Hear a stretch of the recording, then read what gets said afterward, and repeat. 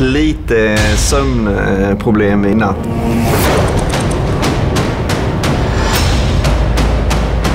Jag heter Greger Håkansson, jag kommer från Älmhult och är 37 år. Högst prioritet för mig är tvn. Äh, lite träning har jag. Jag har lite flops. Kommer maxa från början, så om jag skulle få mjölksyra så kommer jag köpa ren vilja. Jag kommer starta och springa mot TV Hi-Fi, plocka en TV. Rutt 2, fokusera på dator och telefon. Rutt 3 så går jag över till eh, foto och systemkamera. Om tid finns så kommer jag fokusera på fruns önskemål och det kommer vara bland annat en iRobot och KitchenAid. Men eh, får se.